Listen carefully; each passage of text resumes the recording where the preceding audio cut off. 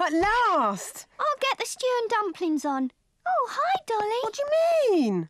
I've made you stew and dumplings. I'm sorry, Dolly, but... My uh, dumplings are your favourite, and I make the best dumplings. Dolly, I never said... I forbid you to eat her inferior dumplings. Actually, Kelly's dumplings are superb. She's done a course in cordon bleu. How can you be so cruel? And I've worn this dress specially. Have you? Why? Because you bought it for me for my birthday. Did I? You said I looked pretty in it.